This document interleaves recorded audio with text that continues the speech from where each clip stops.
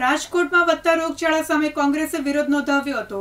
કોર્પોરેશનમાં commissioner Udit Agrawal chamber બહાર ધરણા પર બેસી વિરોધ નોંધાવ્યો હતો. રોગચાળાને ડામવામાં તંત્ર નિષ્ફળ હોવાનો આક્ષેપ કર્યો હતો.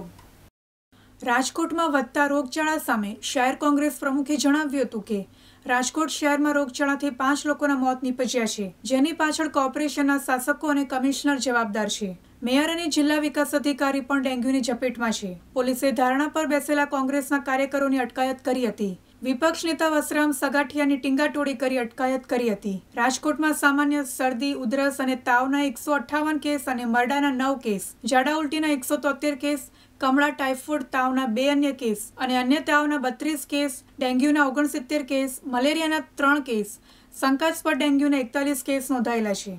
અશ્મિતા પટેલ, દિવ્યાંગ ન્યૂઝ રાજકોટ.